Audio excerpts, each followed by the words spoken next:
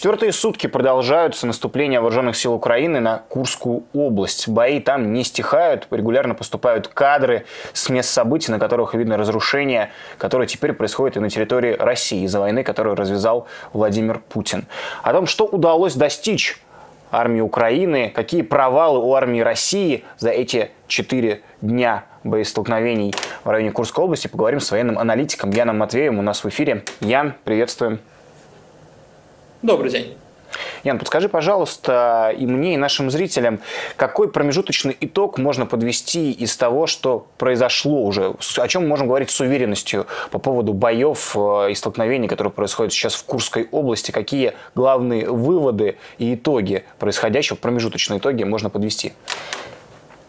Ну, первый главный итог, то, что российская армия полностью провалила защиту границы, их как бы тренировали, грубо говоря, да, когда вот эти небольшие отряды РДК, других там добровольческих соединений всяких проникали в Белгородскую область, но они так ничего, ничему не научились, и, э, соответственно, провал оказался э, огромным, когда уже в дело вступила регулярная украинская армия и серьезные подразделения. В итоге они продвинулись на несколько десятков километров. На самом деле данные сейчас очень-очень спорные, очень разные, но по, в том числе, косвенным признакам могу сказать, что продвижение в районе там 15-20 километров, оно практически э, подтверждено. Вот так вот, таким довольно равномерным полукругом вокруг вот э, в районе Суджи и дальше, да.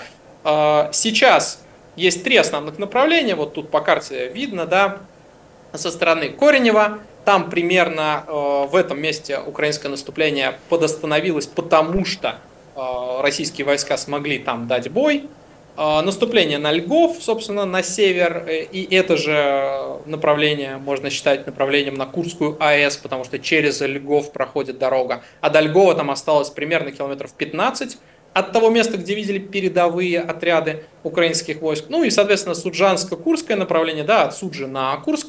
Суджа, город, судя по всему, захвачен, причем он не оккупирован в таком полном смысле, то есть, э, как я понимаю, сам город не заполнен украинскими военными. Они скорее больше обошли его. Там и дорога так идет в стороне немножко от города. То есть она, сам город им не то чтобы очень нужен как э, ключевой пункт.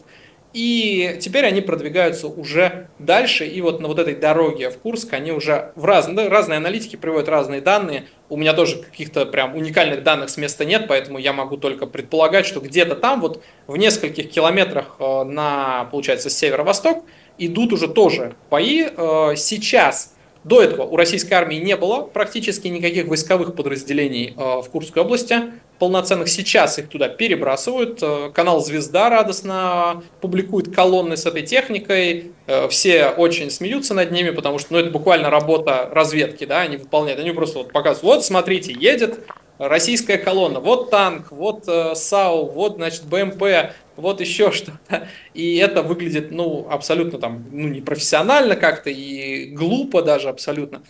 Еще одну колонну перебрасывали с, получается, с севера тоже, и ее рядом с Октябрьском, э, по ней ударили Хаймерсом, и она была уничтожена, разбита, там очень много погибших российских солдат, в районе 120 я видел оценку, может быть и больше, там был разбит целый батальон, ну то есть по-быстрому солдат закидали в машины, в грузовики, там э, Урал, КАМАЗы, и сказали, езжайте, давайте. Они подъехали слишком близко к фронту, и, естественно, их отслеживали дроном, скорее всего, и просто ударили по ним э, Хаймерсом и э, уничтожили этот батальон. То есть не все подразделения получается российской армии перебросить э, в бой, но можно сказать, что вот сейчас, да, 6 начался прорыв, и только сейчас российская регулярная армия более-менее начинает вступать в бои с украинскими войсками. А, скажи, пожалуйста, Ян, Сейчас очень много сообщений о том, что какой-то легендарный батальон «Пятнашка». Я уж не военный эксперт, не понимаю, просто цитируя телеграм-каналы. Легендарная «Пятнашка», э, Вагнер, Вагнера, Ахмат. Все сейчас туда прибывают, отчитываются, и мы видим какие-то ролики о том, как они туда много едут большими колоннами. Э, скажи, пожалуйста, э, насколько те силы, которые сейчас Минобороны перебрасывает в Курскую область, у России достаточно для того, чтобы эту территорию отбить? И исходя из этого, этого твой прогноз, скорее даже оценка, насколько это все серьезно, насколько это может затянуться, потому что мы видели уже вылазки украинских э, отрядов в Белгородскую область, какие-то обстрелы Брянской области, но сейчас, чтобы так далеко зашли в таком большом составе, это впервые.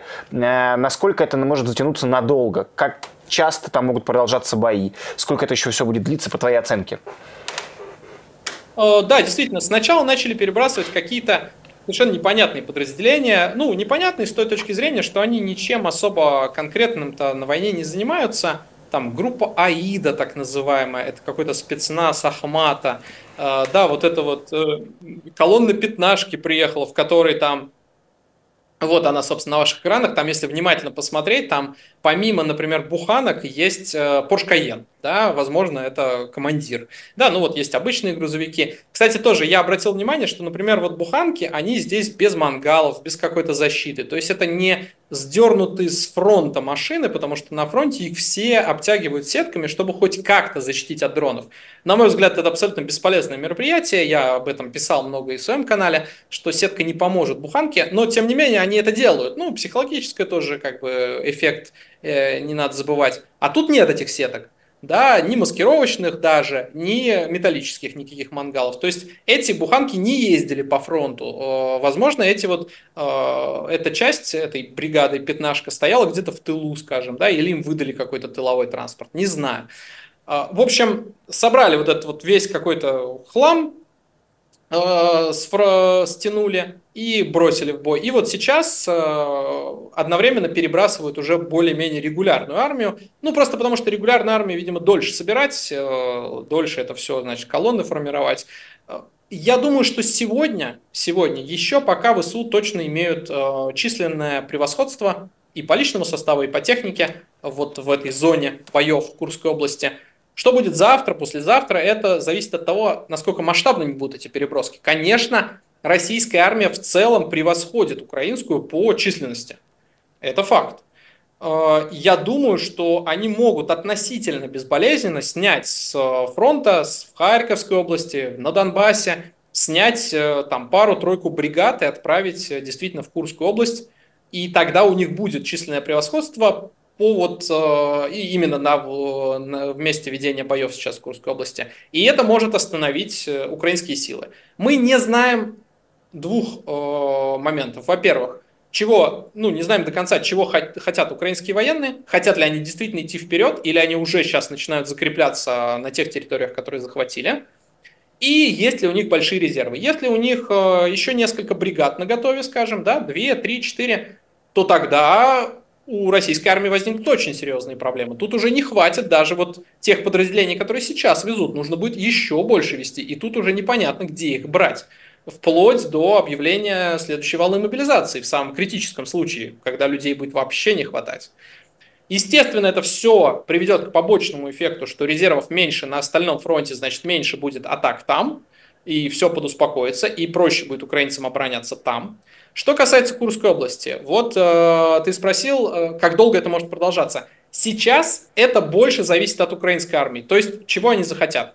Если они захотят окопаться, встать и, собственно, обороняться на каком-то периметре да, в Курской области, они смогут это сделать достаточно эффективно и обороняться таким образом достаточно долго. То есть, ну, там речь идет о месяцах даже. То есть, э, все зависит от того, сколько они подкреплений смогут кидать и э, с какими потерями мириться, потому что потери-то будут, обстрелы начнутся, фабы уже кидают, да, уже российские самолеты уже сбрасывают авиабомбы на российские же населенные пункты. Именно поэтому я уже который день говорю, если вы находитесь в Курской области, просто уезжайте немедленно. Реально, даже если в Курске находитесь, все равно уезжайте.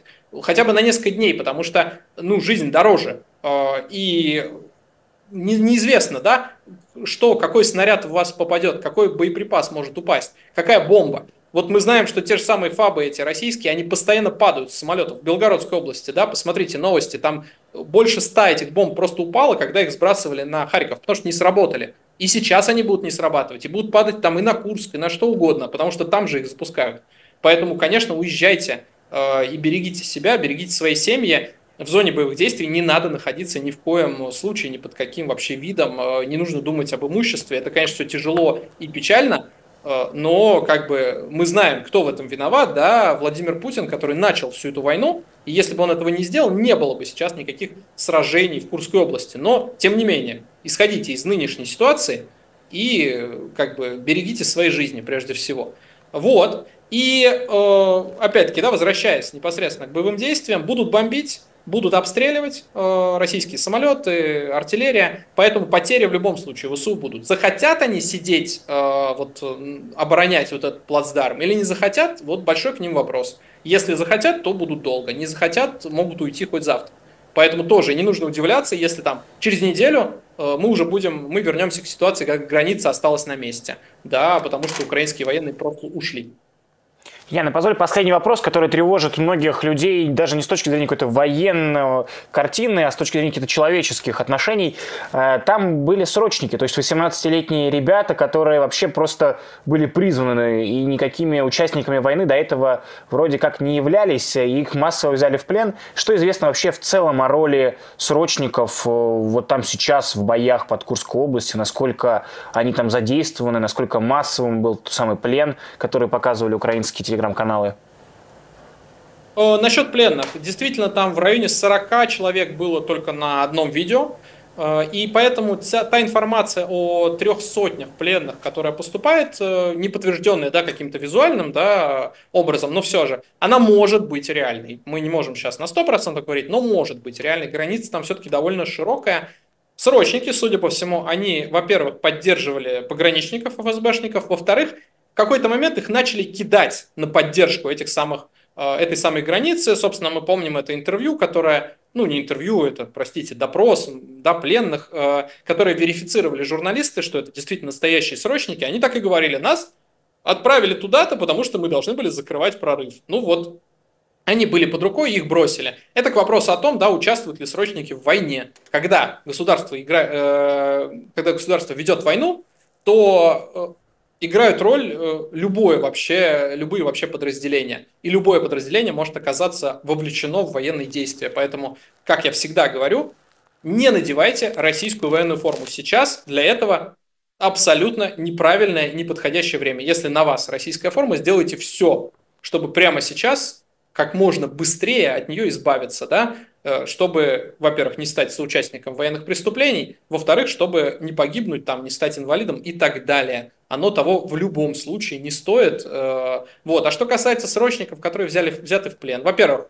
э, надо не забывать, что во время боевых действий бывают не только пленные, и судя по всему, мы еще узнаем о погибших срочниках, да, и, ну, как бы непонятно, кто за это должен отвечать, да, Путин, который выходил и рассказывал, что нет, срочники, никаких срочников на войне, все, значит, ни одного срочника на войне не будет, да, и пленные тоже. Я более чем уверен, я уже видел некоторые слухи, не буду их комментировать, э, но я более чем уверен, что украинцы относятся к срочникам, ну, во-первых, нормально, как к пленным, но они относятся к ним как к более ценным пленным, именно из-за вот этого принципа, э, что это как бы срочники, не должны были воевать. И их будут обменивать Э, по какому-то более, так скажем, если можно так выразиться, более выгодному курсу для украинской армии.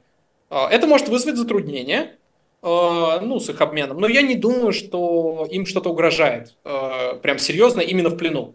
То есть, скорее всего, к ним будут относиться нормально, как к военнопленным. Мы видим эти картинки обменов, когда российские военнопленные вполне выглядят адекватно, да, ну, как люди, которые были в плену, нет каких-то следов на них там мучений, мы не знаем истории о том, как убивают э, пленных э, в украинском плену, потому что мы знаем такие истории, как убивают украинских пленных в российском плену, да, нескольких человек запытали до смерти, это только то, что мы знаем. Э, соответственно, не думаю, что стоит прям за пленных сильно волноваться за их жизни, ну, наверное, их все-таки обменяют.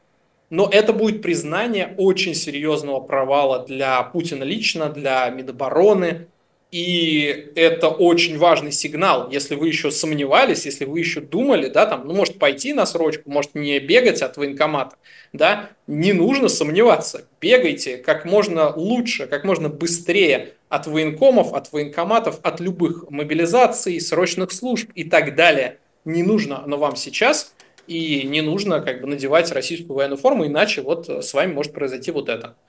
Могу только добавить, могу только согласиться с твоим э, призывом. Конечно, сейчас э, военную форму российскую носить не стоит. Не самое подходящее время. Чтобы сохранить свою жизнь, это вопрос, прежде всего, выживания и не становитесь участниками преступлений. Ян Матвеев, военный аналитик, был нас в гостях. Подписывайтесь на телеграм и YouTube канал Яна. Ссылки будут в описании. Ян, благодарим тебя.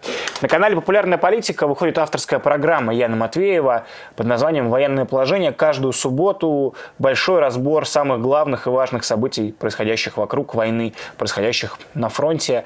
Смотрите для того, чтобы понимать и разбираться в том, что происходит, кто какие действия предпринимает и кто какую ответственность за это несет и должен нести. Ян Матвеев помогает в этом разобраться. Ну а мы на популярной политике благодарим вас за просмотр за ваш интерес к тому, что мы здесь делаем, а мы стараемся пробивать информационную блокаду, стараемся бороться с пропагандой. При вашей поддержке нужен ваш лайк, ваш комментарий. Если есть возможность, поддержите нашу работу финансово. Ссылки в описании. Меня зовут Руслан Шевдинов. Спасибо за просмотр. Всем пока.